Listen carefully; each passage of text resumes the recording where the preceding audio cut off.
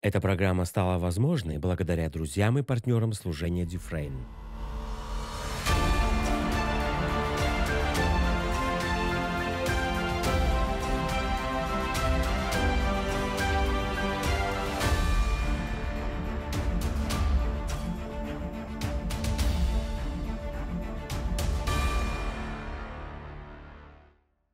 Откройте со мной, пожалуйста, второе послание Тимофею, первую главу. Второе Тимофею, первая глава. Я хотел бы прочитать место Писания, которое нам очень важно понять.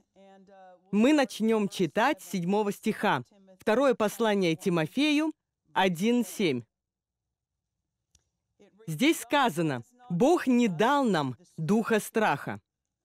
Кто из вас знает, что страх — это не просто чувство, это дух.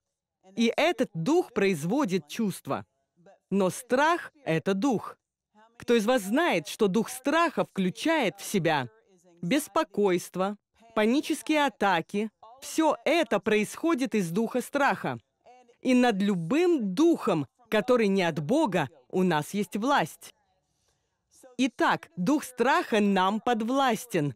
То есть, когда приходит дух страха, у нас есть право не открывать ему дверь и сказать ему «ты сюда не войдешь». Аминь. Итак, Бог не дал нам духа страха. Это значит, что Бог не использует страх, чтобы направлять нас. Бог не использует страх, чтобы вести нас. Бог не использует страх, чтобы руководить нами. И если что-то бомбардирует вас страхом, пытаясь двигать вами, знайте, что Бога в этом нет. Аминь. Потому что дух страха пытается выдать себя за водительство духа. Если ты не сделаешь это, Бог будет на тебя сердит. Если ты не сделаешь это, ты выйдешь из воли Божьей. Он предъявляет вам ультиматум. Но Бог не использует страх, чтобы вас направлять и заставить вас следовать Его плану. Бог не дал нам духа страха, но силы и любви и здравого разума. Расширенный перевод говорит «здравого, спокойного и уравновешенного разума». И посмотрите, с дисциплиной и самоконтролем. То есть, разум под вашим контролем. Он не под контролем дьявола, но позвольте вам сказать, он и не под Божьим контролем, он под вашим контролем.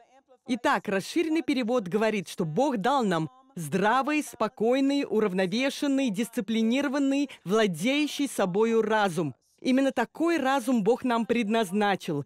Именно такую жизнь и такой разум Бог нам обеспечил. Заметьте, в этом также наша защита от духа страха. Здравый, спокойный, уравновешенный, дисциплинированный, владеющий собой разум – это наша защита от духа страха. Если мы не будем контролировать и дисциплинировать свою умственную жизнь, в нее проникнет дух страха. И здесь сказано, что в этом наша защита от духа страха. Здесь Бог описывает обновленный ум. Здравый, спокойный, уравновешенный, дисциплинированный, владеющий собой. Вот как выглядит обновленный ум. Аминь. Обратите внимание, у нас не будет обновленного ума, если мы не способны дисциплинировать свою умственную жизнь. У нас не будет обновленного ума, если мы не будем контролировать, что мы допускаем в свой ум. Вы знаете, что дьявол говорит с нами, угрожает нам, он внушает мысли, это все, что у него есть. Сила убеждения. Он внушает какие-то мысли разуму, угрожает нам чем-то. И если вы поверите этой угрозе, у него появится открытая дверь, чтобы это исполнить. Итак, он угрожает. Но кто из вас знает, что здравый разум, обновленный ум, владеет собой? Он не носится, как попало, необузданно. Вам необходимо обуздывать свой ум. Ваш ум будет пытаться куда-то умчаться, захватив вас с собой. Аминь.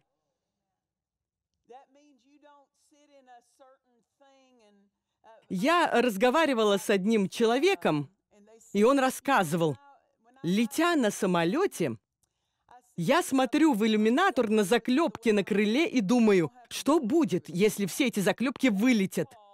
Это называется недисциплинированным мышлением.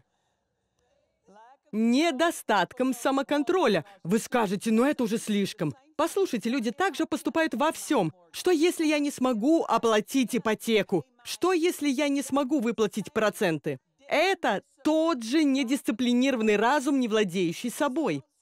Поэтому не сидите и не говорите, я бы никогда так не думал, такие необузданные мысли. Любые необузданные мысли одинаково вредны. Ваши дети когда-нибудь играли в игру «Что если»? Боже мой, эти игры нужно прикрыть. Потому что у некоторых детей очень сильно разыгрывается воображение на тему «Что если?». Они прокручивают это у себя в голове. Но я вам скажу, за годы пасторства я встречала так много взрослых, которые тоже недисциплинированы и играют в игру «Что если?». Аминь. Обновленный ум не играет в игру «Что если?». У каждого верующего есть две первостепенные задачи. Во-первых, обновлять ум. Во-вторых, развивать дух. Развивайте свой дух. Развивайте свой дух. Почему? Потому что обновление ума и развитие духа – это лучшая защита от дьявола. Он не сможет пробраться вовнутрь. Аминь. Дьявол и его атаки очень реальны, но часто люди пытаются справиться с дьяволом тогда, как настоящая проблема заключается в необновленном, недисциплинированном уме. Откройте со мной, пожалуйста, Римлянам 12. Римлянам 12, 1 и 2 стихи. Здесь сказано, «Итак, умоляю вас, братья, милосердием Божьим, вы, вы, вы представьте тела ваши в жертву живую, святую, благоугодную Богу для разумного служения вашего или в расширенном переводе для вашего духовного поклонения. И не сообразуйтесь с веком сим, но преобразуйтесь обновлением ума вашего. Как мы говорили на предыдущем служении, Бог сделал что-то с нашим духом при рождении свыше. Он дал нам новый дух – но именно нам нужно что-то сделать со своим умом и телом. И если мы ничего не сделаем со своим умом и телом, ничего не будет сделано с нашим умом и телом. Мы управители своего ума и тела, не Бог, а мы. Он дал нам то, что позволяет нам правильно управлять нашим телом и умом. Он дал нам Слово, Он дал нам Духа Святого, у нас есть имя Иисуса, у нас есть кровь Иисуса, у нас есть власть. Аминь.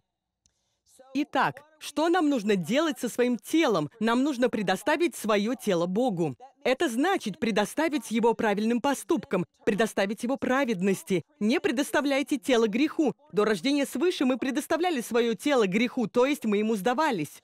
Но теперь мы сдаемся праведности. Теперь мы сдаемся тому, что угодно Богу. Мы сдаемся тому, что соответствует Слову. Вот что мы делаем со своим телом. Когда наше тело хочет поступать как прежде, мы говорим, «О, нет, ты больше этим не занимаешься, ты больше этого не делаешь». Почему? Потому что у вас есть благодать, Богом данная божественная способность, помогающая вам жить в том, что Он вам обеспечил.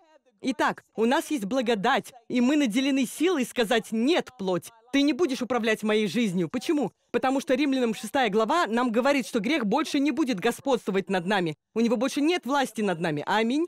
Тело может хотеть поступить неправильно, но у нас есть право сказать «нет, нет». Ваш пастор не может за вас сказать вашему телу «нет».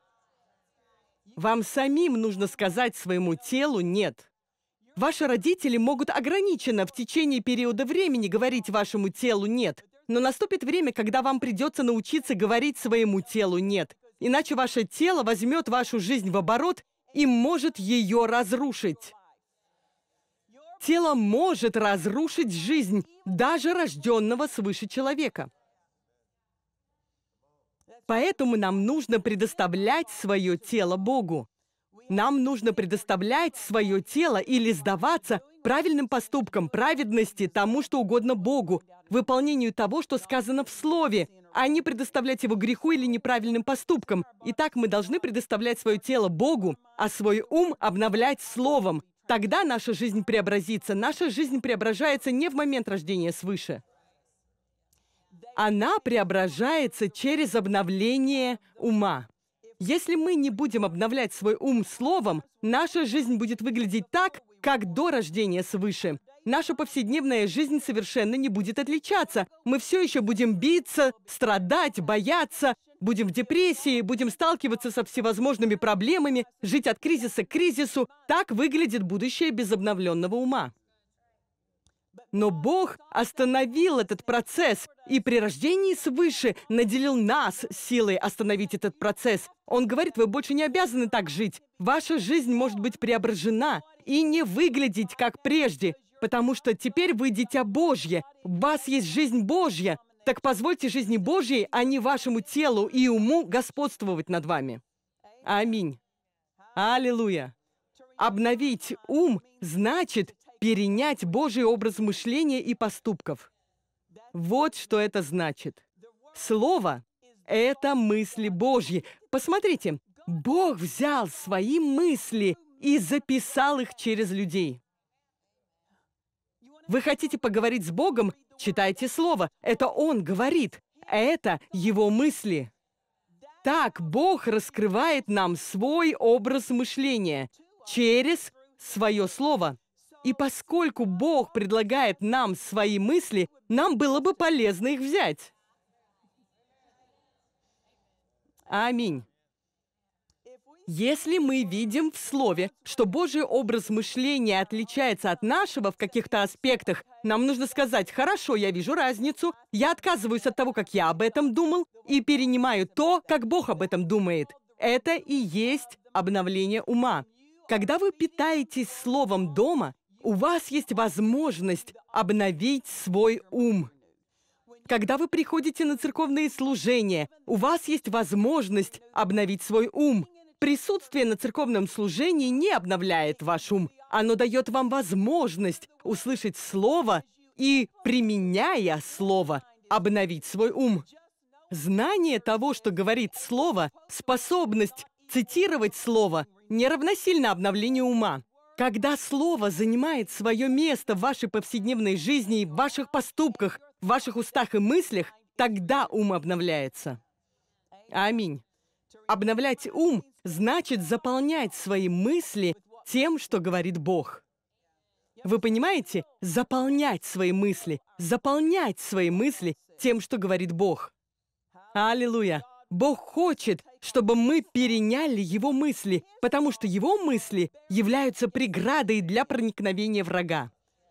Когда мы мыслим так, как мыслит Бог, у дьявола нет никакого доступа. Он никогда не сможет вторгнуться, сколько бы он ни нападал. Мы не можем помешать дьяволу атаковать, но мы можем не дать ему прорваться вовнутрь, а останавливаем мы его мысля как Бог. Аминь. Вы спросите, как это мыслить как Бог? Когда что-либо нам противостоит или отличается от слова, мы должны спросить себя, что слово говорит мне делать по этому поводу, что слово говорит об этом, что слово говорит мне делать. Нам нужно выработать привычку, задавать себе вопрос, что говорит слово, и потом наполнять свои мысли этим и действовать соответственно. Это процесс обновления ума.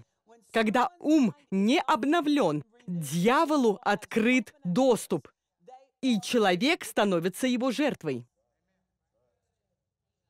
Но так не должно быть, потому что нам дано право больше не быть жертвой.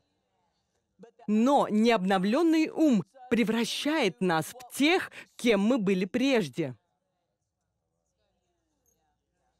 Обновленный ум вводит нас в то, что нам предлагает Бог. Аминь. Необновленный ум принимает мысли дьявола. Но обновленный ум принимает мысли Бога. Теперь вы можете разобраться, насколько обновлен ваш ум. В течение дня За чьи мысли вы держитесь? Чьи мысли привлекают ваше внимание? Чему вы позволяете прокручиваться в вашей голове? Мысли против вашей второй половинки? Как вы думаете, откуда они пришли? Бог не дает вам мысли против вашего супруга, супруги. Аминь. Мысль высказаться против своего начальника, как вы думаете, от кого она пришла?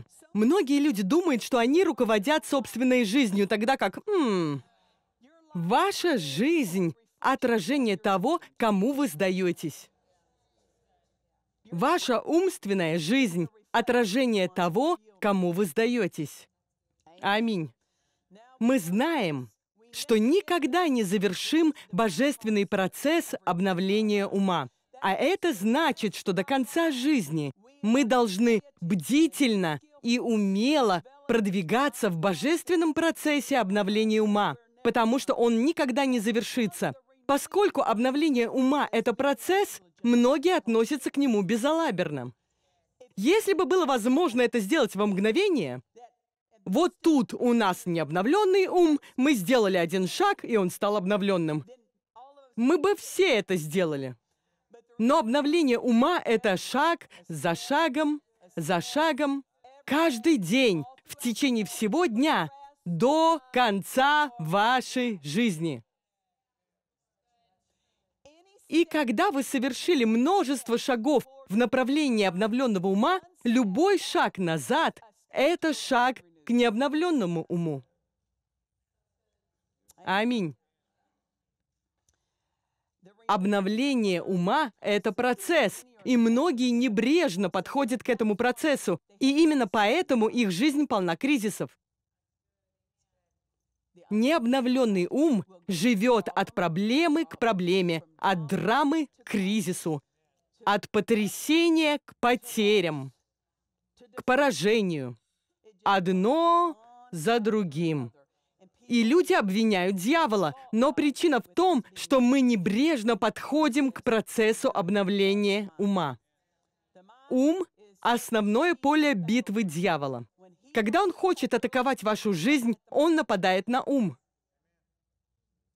Даже если он хочет атаковать ваше тело, он должен добиться, чтобы вы мыслили неправильно, чтобы вы приняли симптомы. Даже если он хочет атаковать ваши финансы, он должен добиться, чтобы вы мыслили неправильно, чтобы вы это приняли. Любая атака врага всегда сопровождается атакой на разум. Когда вы правильно мыслите, вы не пропустите атаку. Поэтому, чтобы вы приняли атаку в какой-либо сфере, ему необходимо добиться, чтобы вы неправильно мыслили. Ум — основное поле битвы дьявола. И если мы собираемся господствовать и править над дьяволом и обстоятельствами, возникающими в нашей жизни, а не быть жертвой дьявола, нам придется обновлять свой ум, и ваш пастор не может обновить его за вас. Все, что может сделать ваш пастор, это дать вам инструменты, которыми его обновлять. Необновленный ум слушает то, что говорит дьявол, и верит этому. Аминь. Как люди слушают дьявола? Вы скажете, я знаю, что это дьявол. Я не хочу этой мысли. Да, но если вы прокручиваете эту мысль снова и снова и снова, это называется к ней прислушиваться. Вы не можете помешать мыслям от дьявола приходить, но вы можете не прокручивать его мысли снова и снова и снова. Папа Хеген говорил нам, вы не можете помешать птицам летать над вашей головой, но вы можете помешать им свить гнездо в ваших волосах. Это значит, вы можете помешать им сесть вам на голову. Мысли будут приходить и кружить у вашей головы, чего они пытаются добиться? Они крутятся и вертятся. Вы просыпаетесь с утра, и мысли просто носятся. И в течение дня ум окружен. Мысли бомбардируют его. То, что они кружат, не значит, что вы должны позволить им сесть на вас. Как не дать этим мыслям приземлиться? Ответьте на них. Ответьте на них. Скажите им «нет». Если дьявол говорит «я причиню вред», твоим финансам. Нет, ты не причинишь вреда моим финансам. Мой Бог восполнит. Вам нужно ответить на эти мысли. И позвольте сказать, когда люди ведут себя так, словно дьявол не говорит с ними, это дух страха. Многие думают, я проигнорирую его. Ведь если я это повторю, то я это приму. Нет, вы должны ответить ему. Сколько людей не идут к врачу, потому что боятся услышать диагноз? Знаете, когда в 80-е годы мы были в Талсе, были опубликованы результаты медицинского исследования, указывавшие на то, что в Талсе было больше предотвратимых смертей, чем в любом другом городе в США. Почему? Потому что столько людей слышали учения о вере, но не имели правильного понимания. Они не были еще достаточно развиты, а к врачам они обращались, когда было уже слишком поздно. Смерть можно было предотвратить, но они ждали, пока не стало слишком поздно. Позвольте вам сказать, это не вера, это страх. Многие боялись обратиться к врачу. Аминь. Боялись того, что они могут услышать. Ну, слава Господу. Ну, я в вере. Если вы в вере, вы можете получить свое исцеление. Если вы не получаете, идите к врачу. Аминь. Бог предпочитает, чтобы вы были живы, а не умерли в вере. Ну, слава Господу. Люди слушают. Люди слушают то, что говорит дьявол. И они верят этому, думая, если я проигнорирую это, оно уйдет. Нет, не игнорируйте, а отвечайте на это, говорите с этим. Аминь. Когда люди открывают дверь своего ума для дьявола, они впадают в депрессию, терзаются, мучаются, боятся, тревожатся. Они подавлены. Мы не можем ему помешать нападать, но мы можем помешать ему найти посадочную площадку. В обновленном уме нет места для посадочной площадки дьявола. Второе Коринфянам, 10 глава. Четвертый стих. Второе Коринфянам, 10 глава, 4 стих. Здесь сказано, не спровергаем замыслы и всякое превозношение, восстающее против познания Божия или знания, которое дает Бог. И пленяем всякое помышление в послушании Христу. Заметьте, пленяем каждую мысль, каждую мысль, каждую мысль. Вы можете не спровергнуть 99 из 100 мыслей, и та одна, что вы не неспровергли, ворвется и разгромит вашу жизнь. Каждую мысль. Ну, это уже слишком, пастор Нэнси. Ну, это Бог сказал, а не я. И раз он это сказал, выполнение этого не будет чем-то непосильным. Почему? У нас есть Божья помощь для выполнения этого. В нас Дух Святой, который вразумляет нас, напоминает нам, помогает нам внимательно замечать, что необходимо не спровергнуть. Обратите внимание на эту фразу. «Не спровергаем замыслы». Заметьте, неспровержение – это очень агрессивное действие. Это не пассивный подход к неправильным мыслям. Вам нужно агрессивно подходить к неправильным мыслям, потому что неправильные мысли разрушат ваше будущее, вашу жизнь, ваш дом, ваш ум, ваше тело, вашу семью. И уж лучше не подходить к ним пассивно, не спровергайте их. Аминь. Вы уже слышали мой рассказ о папе и о том, как выглядит неспровержение. Мы отдыхали с мамой, сестрой и папой, не помню, был ли там еще кто-то. Это было лет 25 назад, то есть мы с сестрой уже были взрослыми, не детьми. На папиной земле был водоем, и мы решили порыбачить. На берегу вверх дном лежала небольшая лодка. Папа ее перевернул, мы все расселись, выплыли на середину озера, сидим, рыбачим. И тут краем глаза мы что-то замечаем. Не показалось ли нам? Мы увидели огромную крысу в лодке. Не очень быть посреди озера с крысой в лодке. Ну и как уж девочки, мы подобрали ноги на скамейке. И крыса добежала до носа лодки, но на носу было сиденье, на котором сидел папа. И крыса туда забежала и выбраться не могла. Она была загнана в угол лодки под скамейкой. Как вы понимаете, я не знаю никаких лодочных терминов. В угол лодки. И папа веслами подвел лодку к берегу. Мы все выбрались из нее очень медленно, вылезли на берег, и папа достал свой большой карманный нож. А как я уже говорила, на носу лодки было сиденье, и крысе бежать было некуда. И папа просто взял нож и стал тыкать им вот так под сиденьем, пока что-то не нащупает. Он что-то проткнул, наткнулся на что-то, достал нож, и он проколол крысе ногу. Скажите «да» и «аминь». Именно так и нужно поступать с крысой. Не хочу слышать никаких воздыханий. О, -о, -о. Крысы — это крысы.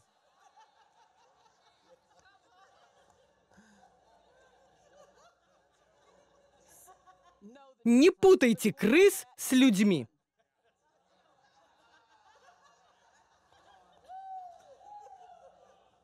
Итак, папа проткнул крысе бедро, достал ее. Она все еще была жива. Ей даже не было больно, она ничего не чувствовала. И папа схватил ее за хвост и не просто отпустил ее, он раскрутил ее держа за хвост, раскрутил ее, и там был большой булыжник, и он ее бам! Вот что такое не спровергнуть. Потому что если вы не не спровергнете эту мысль, она снова подскочит. Уж лучше не спровергните ее так, чтобы она не смогла подняться. Поэтому, когда сказано «не спровергаем замыслы», там не сказано «не спровергаем замыслы», а «не спровергаем». Вам нужно быть агрессивными, решительно настроенными. Они не поднимутся вновь. Аминь.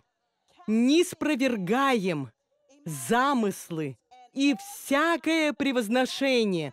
Как мы не спровергаем? Отвечаем, говорим «нет». Ты не обманешь меня. Нет, я не поверю этой мысли о моем супруге. Я не поверю этой мысли о моем пасторе. Я не поверю этой мысли о моем брате. Я не буду так говорить о моем работодателе. Если вы не будете целенаправленно не спровергать эти мысли, они снова оживут и посетят вас. Вам нужно их не спровергнуть, чтобы они никогда больше не могли подняться против вас. Аминь. Это задача верующего. Это дело обновленного ума. Это не игра, и мы не будем любезничать, разбираясь с дьяволом. Мы твердо стоим на своем. Мы используем свою власть и говорим, может быть, ты и напал однажды, но ты об этом пожалеешь. Аллилуйя! Мы надеемся, вам понравилась сегодняшняя программа. Посетите наш сайт dufraneministries.org, чтобы узнать о ближайших собраниях, поделиться своим свидетельством или обратиться с молитвенной просьбой. Эта программа стала возможной благодаря друзьям и партнерам служения Дюфрейм –